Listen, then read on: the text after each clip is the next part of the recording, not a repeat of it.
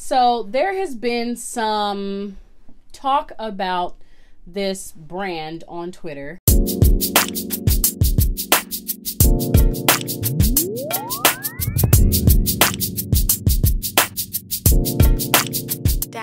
Hey career girls, welcome back to It's a Golden Lifestyle. I'm so glad you're here as per usual. If you've been here before, welcome back. And if this is your first time here, thanks for clicking on my video. If you're enjoying my content, don't forget to hit that subscribe button, like this video, and comment down below.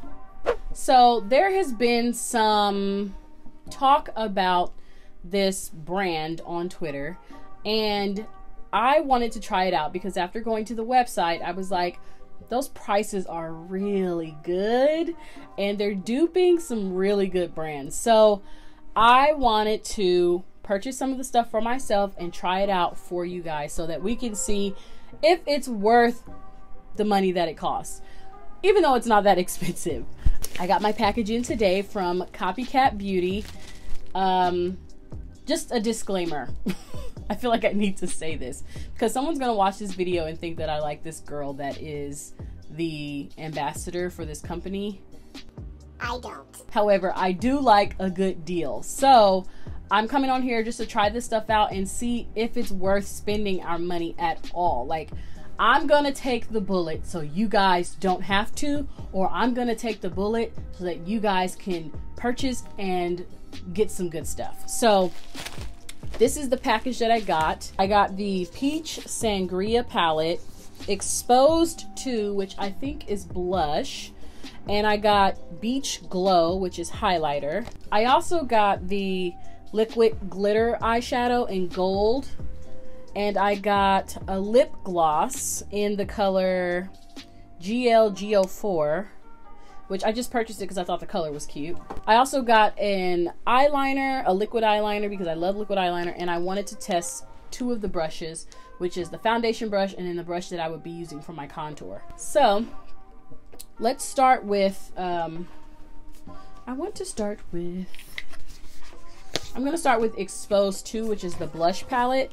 This one is supposed to be compared to, let me pull it up. Exposed 2 is supposed to be compared to Narcissist uh, by NARS Wanted 2 Cheek Palette. So this is what it actually looks like. And it does have all of the ingredients on the back. It's a lot to read. Um, some of these I can't even pronounce. There's lots of ingredients on the back. So this is what it looks like. Okay. The image makes the cheek palette looks like it would be more pigmented. But let's see what the payoff is. I mean, I like the colors that they have here. I think that the colors will come come off on my cheeks really nicely. It's just that the image did make it look like they were deeper toned. So, um, we'll try that out. Then I also got the Peach Sangria palette. This one is compared to Too Faced Sweet Peach eyeshadow palette that retails for $50.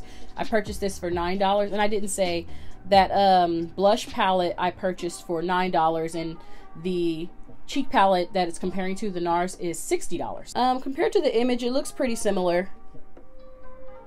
It looks pretty similar to the image, so that's good. And then the last thing I got is the Beach Glow, and the Beach Glow is compared to Anastasia Beverly Hills Sugar Glow Kit that retails for $40. I got this for $9. What I'm going to do now is start applying my makeup and tell you guys what I think as I'm applying the makeup. So I'm to come in a little bit closer so we can really see my face. I'm to use my favorite foundation, which I feel like is my perfect match, and it's Lancome Teint Idole 24 Hour Makeup. I wear the color 470 Sweet C or Sue C, I don't know. Um, so I'm to start with that and use the buffing brush. Okay, this buffing brush is called the round buffer brush. It costs $3.99 and it's um, and it's supposed to be compared to Marc Jacobs buffing brush uh, that retails for 48 bucks. So let's see if I like this brush.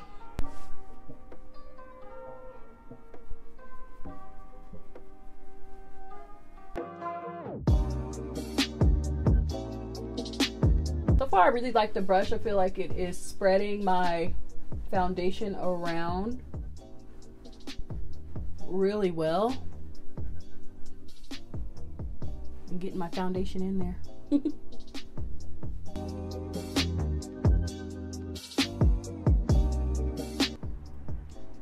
I think that did a really good job. All right, I like the brush. I like the buffing brush. So, so far we have one thumbs up.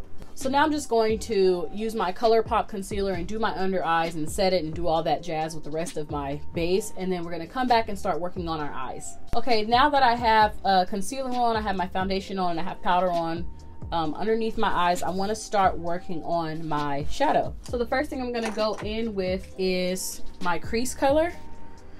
And this shadow palette has no names on the front, has no names on the back. Um, so I can't even tell you what the name of the shadow is, but I'll try by just putting the color in the corner. So I'm going to go in with a brown color for my crease. Um, just tapping in, it is powdery like most eyeshadows are. So that's a good sign so far. It's not like I'm having to drag my brush into it to pick some color up. So, and I also put some um, concealer on my eyelid so that I have kind of like a base. Something to put my color on top of. Um, so let's just go in.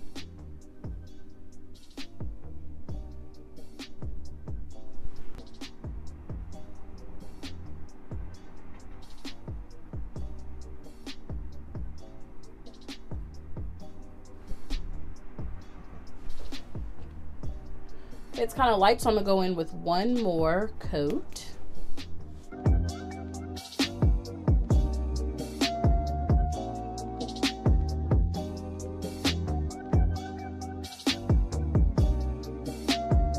Transition. So I want to pack in another brown color in my crease here. So I'm going to take my other brush and use the other brown color in the palette. Pick that up. Let's see how that comes up.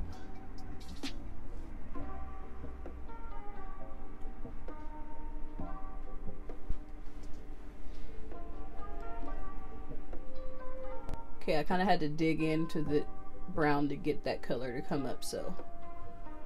Glad it's showing now, though. Welcome to the party.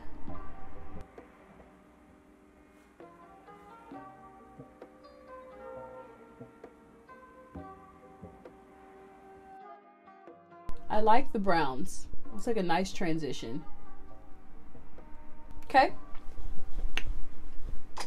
Okay, and so on top of my lid, I want to use the gold glitter. So I'm to use what seems to be their like goldy yellow tinted shadow and put that on my lid. I want to see how it does with a brush first and then I'll go and use my finger and see how that does. So this is with the brush.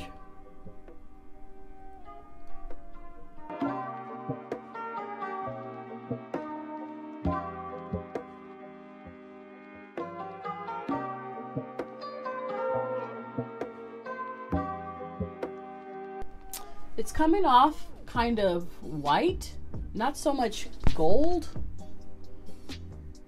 Um, let me get close here.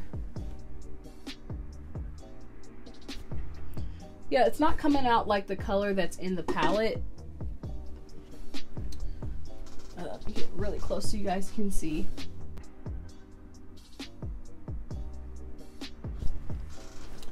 Okay, but, um, all right. Okay. Now I'm to go with my finger and see if that makes a difference. Maybe it's because I used the brush and not my finger. So typically what I would do when I'm putting shadow on my lid is use my finger. So let's try that and see if it comes out a little bit more pigmented. See, it comes out kind of yellowy gold on my finger.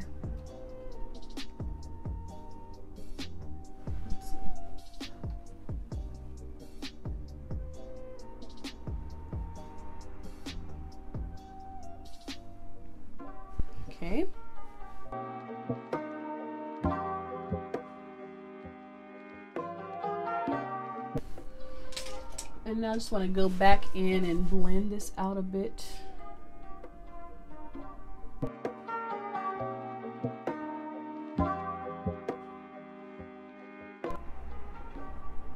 So I feel like the eyeshadow blends really well, so that's good.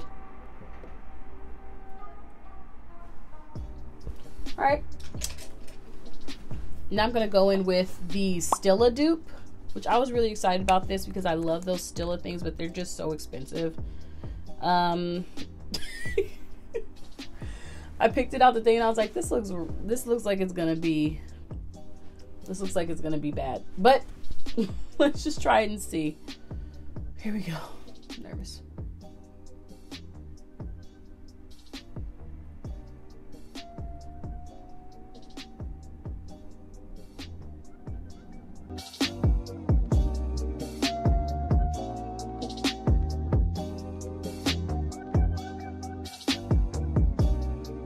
So I think the color of the glitter is nice.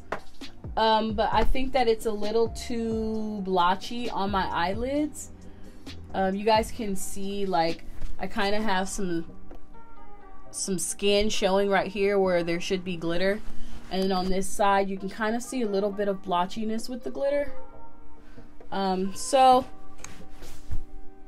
I am unsure about the glitter.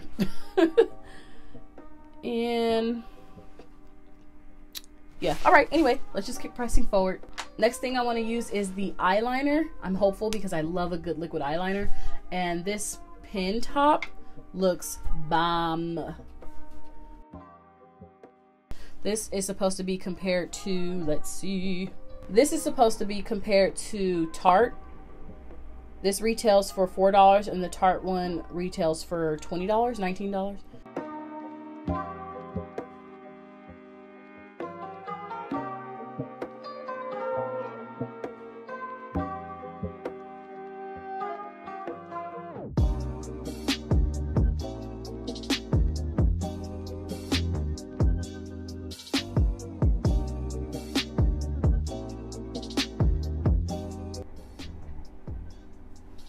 I didn't mind the liquid eyeliner marker. It definitely goes on like a marker.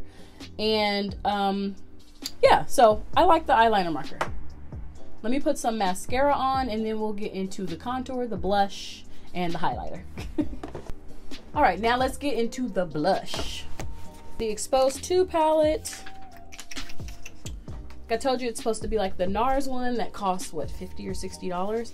I'm gonna go in with this middle color here. This also doesn't have colors on it. Okay, so here's dip, dip, dip. That's how much got on my brush from that. Tap some off. All of it came off. All right, so let's dip one.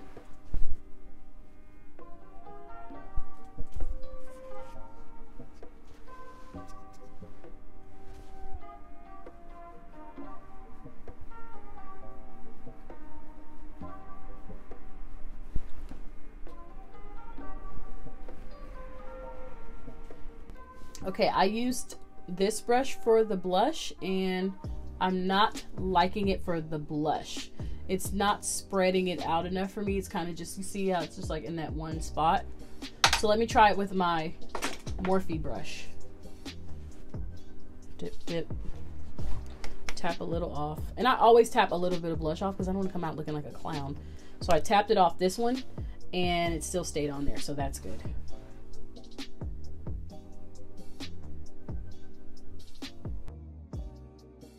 I think that the color is good. It matches what's actually in the palette. Um, the problem I'm having is that it's not blending very well. You guys see me like going ham, like I'm. and I still see like this right here. All right. I'm gonna keep it on y'all.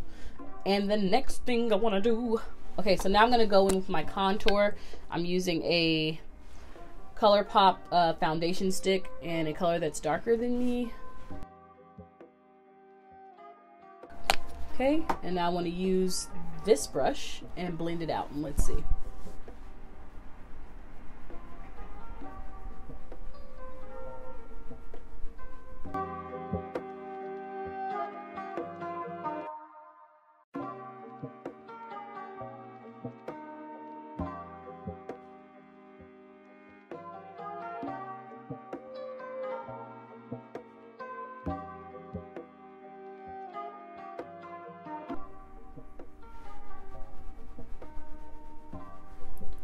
Okay. I'm going to do the other cheek with a different brush and see if it's me or if it's the brush. This is my Morphe brush, same shape that I use for blending my uh, contour. So I'm going to do this side and see, so we can see, okay?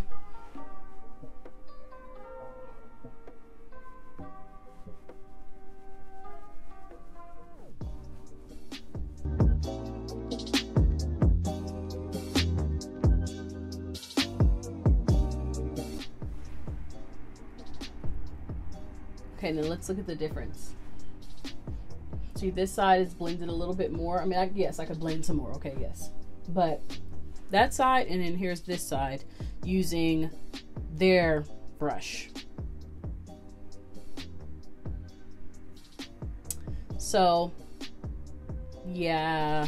Mm, yeah, no.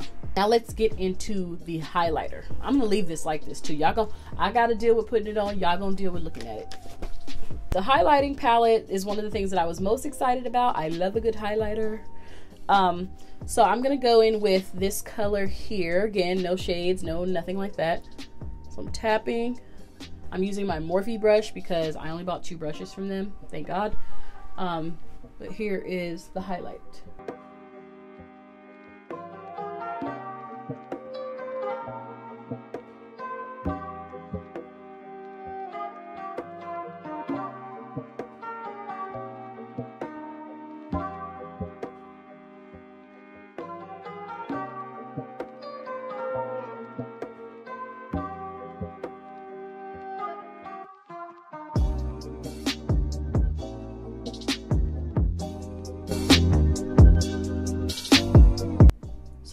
The highlight either. Um, I'm not gonna lie, I do feel like um, just because, mind you, I do love highlight. I have more than enough highlight palettes.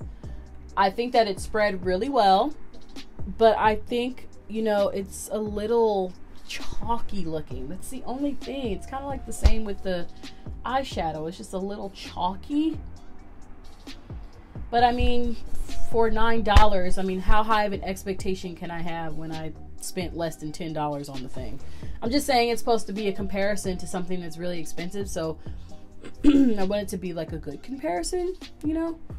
So now I'm just gonna use my powder brush and blend all of this together, and then I'll come back and we can do the lipstick. All right, so this is the lipstick shade that I got. Go right in. No liner, no nada.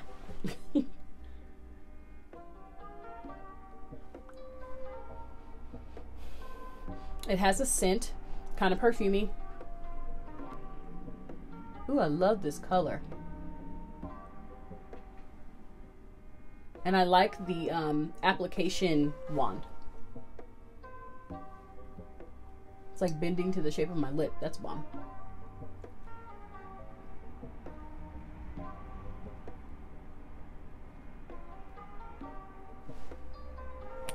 I like the lip. I would definitely use this as like a keep it in my purse. I want a little bit of color. I like it. I think it looks good. All right. So I'm going to spray my face down and I'm going to come back and give you guys my final thoughts. Okay, so here are my final thoughts on the Copycat Beauty, Go To Beauty. I don't really know which one is their name. It's being promoted as Copycat Beauty, but all the packaging says Go To Beauty, so I don't know. Um, so let you guys pretty much heard my I you guys pretty much heard my thoughts as I was putting my makeup on, but just as a recap, um, the highlight palette was okay. If it was like a one out of five, I would say this is like a three. I would give the highlighter a three. I would give the blush a one out of five, one being the least and five being the best. one out of five, I would give this blush palette a two because I don't think that it. Nah, I think it picked up color. Nah, I'm sticking with my two. I'm gonna keep a two on this because I didn't like the blending of this I didn't think that it blended very well, so I'm keeping this at a 2. With the eyeshadow palette, I would give this probably a 1 out of 5. I would give this like a 2.75 or 2.5. uh, because the colors are muted. I think brown look came up really good, but I don't see how you can go wrong with brown. The gold color kind of came out frosty white and not really gold. Um, so yeah, I'm gonna give this a two and a half. Yeah, that's my that's my number, and I'm sticking to it. The glitter, the glitter stick for the eyes, one out of five. I'm gonna give this a one. the color was great, so I got a point for that. Ah, okay, I'll give it a one and a half. The color was great, so I'll give it one point for that. And then the half point is for the applicator. I thought the applicator was good. It bent. It went to the shape of my eye. That was great. But it's big glitter dots, and some of them were falling off as I was putting on my eyeliner, so that was frustrating. And um, it was kind of blotchy on my eyelids. In some spaces, I still had skin showing through the glitter, even though I was packing it on that space. So this is a one and a half out of five. I wouldn't recommend buying this. I would say just invest the money and get the Stila. And then the lipstick, I like the lipstick. I like this one. So out of one out of five, I would give this a. Had it on for a minute. It's not tacky. Feels good. I think out of the lipstick, I would give this a five. I would also give the buffing brush a five. I love this for my foundation. It's spread really evenly, really fast. Love this. And this brush, I would give a 0.5. I didn't like it. I didn't like it for my blush, and I didn't like it for my contour. Um, and it's an angled brush, so it should work for one of those things, and it didn't. So don't get this brush. So yeah, here we go. Here's my faves right here. The buffing brush and the lip gloss. So if you're going to spend your money at Copycat Beauty, I would say get these two items and avoid the other stuff and just spend the money because I think you get your money's worth. If you just invest, save up a little bit here and there if you really want those products and purchase that. But if you want to get something from this company, I definitely love the buffing brush and I love the lip gloss. Anyway, thank you guys for tuning in to It's a Golden Lifestyle. I'll see you on the next episode.